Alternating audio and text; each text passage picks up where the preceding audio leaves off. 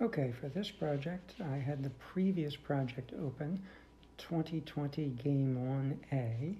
I already went to File, Save as a Copy, and then I changed the name to 2020 Game 1B. And you're going to have to share this project. I have not yet done that. And at this point, what we want to do is make things fall. If you want your enemies to fall, again in the bottom right, you can upload, oops, sorry, wrong one. You can upload your enemy. I actually didn't do that. I just chose a sprite because these aren't enemies. These are things I want to gather when they fall.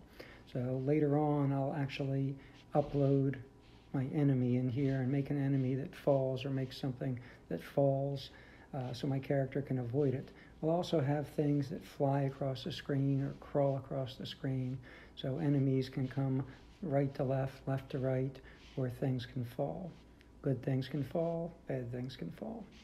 Once you have chosen a sprite or uploaded a sprite, then these are the blocks, the instructions that you program on that sprite.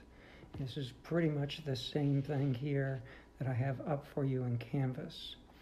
The other, that's the banana. Uh, the other sprite here, I've actually made it a little more complex. So if I click on that sprite, uh, I have it going to a random position instead of a number. So the game uh, starts sometimes with the apple here, sometimes there. Same thing when it falls to a certain spot down here, it becomes less than minus 176.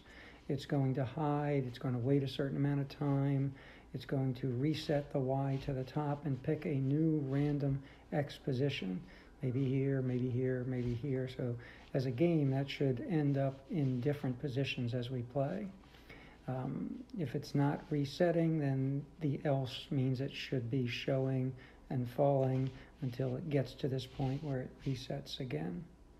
So we want to create uh, some sprites, either choose them or upload them, and put a script on it that makes it fall as it says in Canvas.